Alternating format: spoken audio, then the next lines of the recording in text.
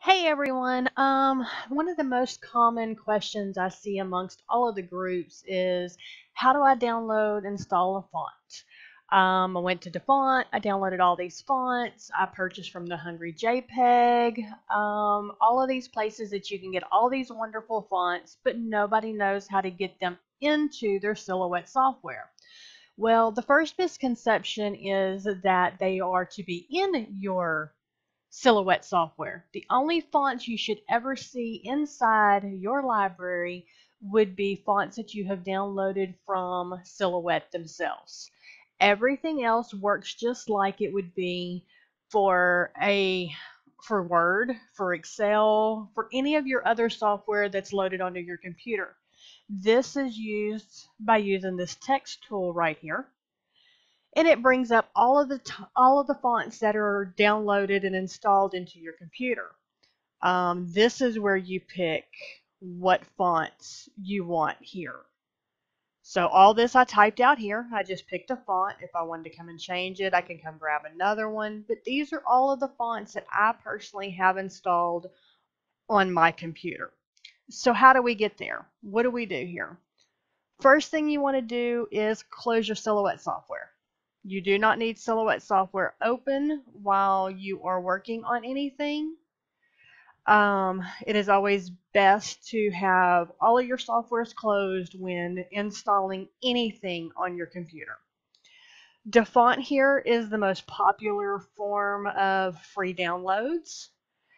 Here you can see you just this is your download link right here. What you're wanting to look at here is what the usage is free for personal use, free for personal use. This one here is 100% free. So you could basically do anything you want with it besides selling the actual font or sharing the actual font.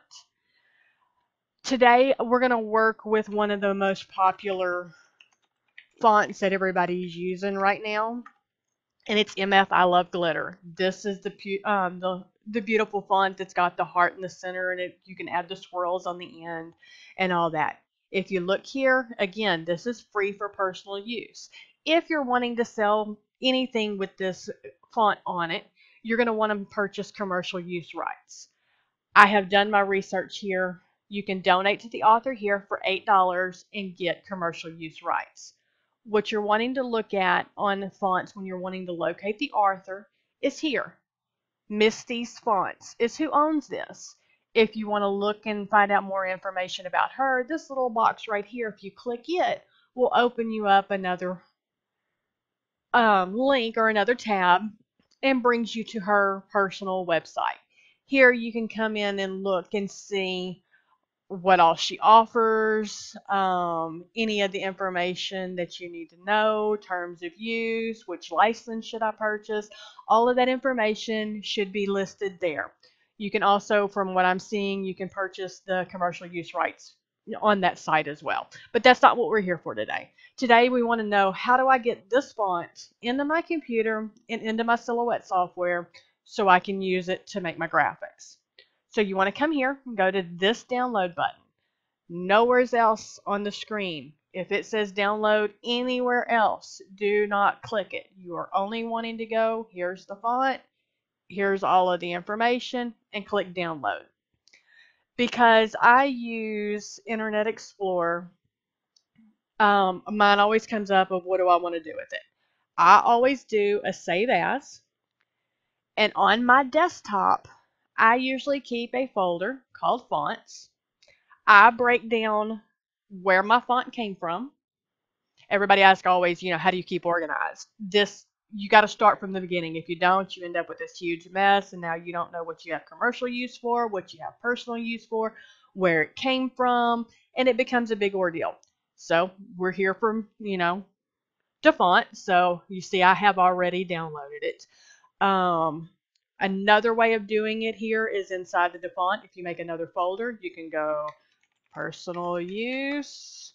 You can make you another folder for commercial use. And because we know in this forum, you can even have 100% free use.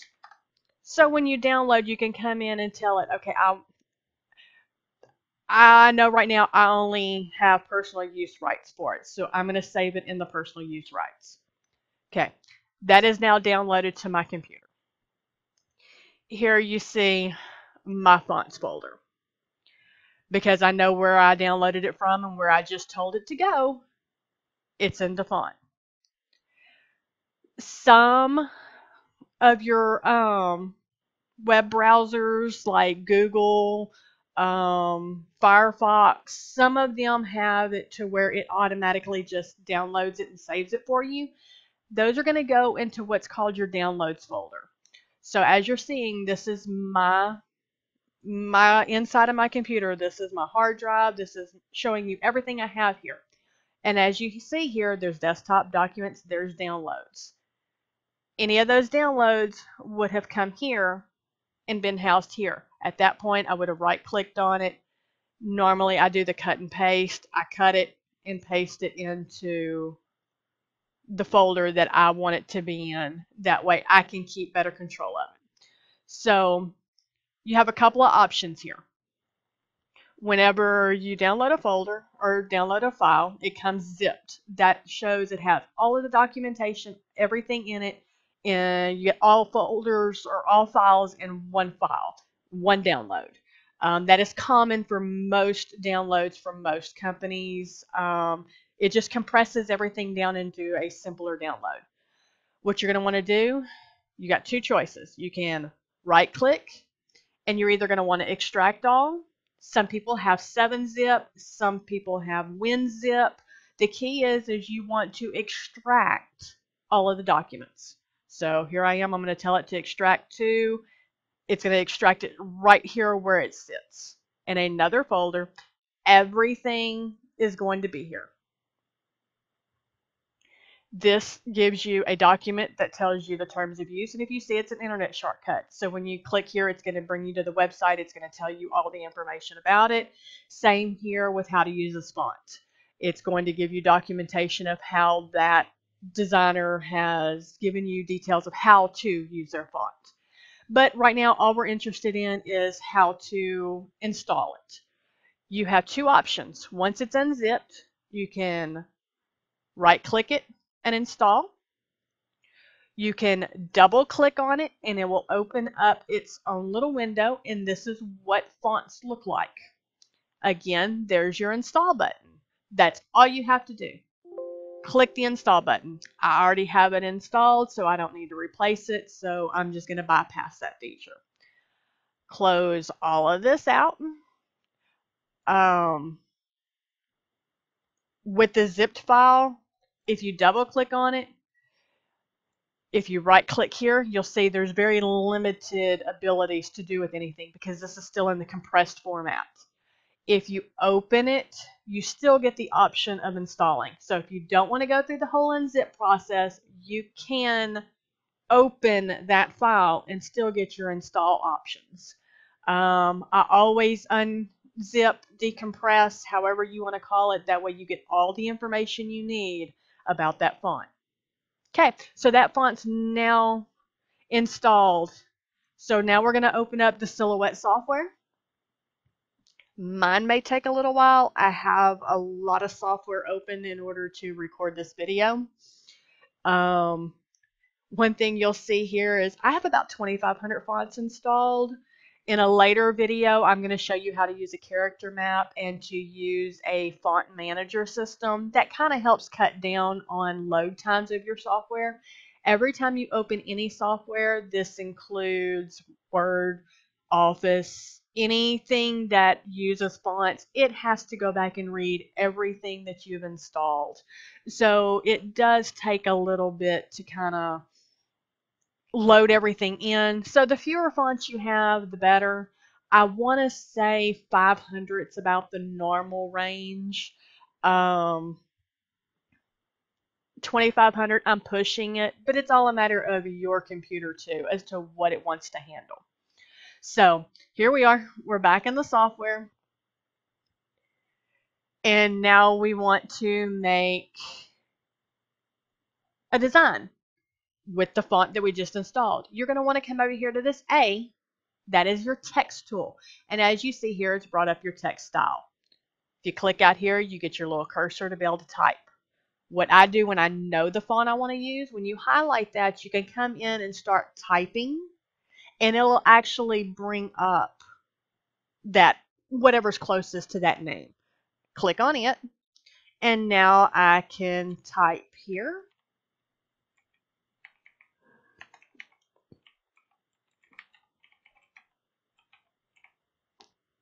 And there's my font. That's as easy as it is to actually install fonts. And this is any .ttf or .otf file format that you'll want to use in your software to be able to type your actual text with. So any questions once I post this, just um, leave a comment and I will answer as much as I can. And in future videos, we'll go over more information about this specific font and the ads that you can add to it and how you can work with the font, um, as well as a font manager system to help you. So thanks for watching. Like I said, if you have any questions, just let me know. Thank you.